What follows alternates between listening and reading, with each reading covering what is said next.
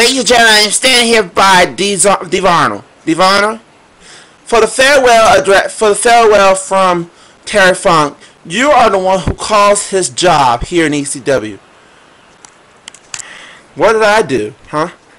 Because Terry Funk is not used to be the wrestler he is. He tried to hold Sabu down. Come on, man. Sabu deserves more respect than that Terry Funk. But tonight, it's the last time we see Terry Funk. Sabu, you know what you have to do tonight. Tonight, it's going to be a farewell that you have never seen.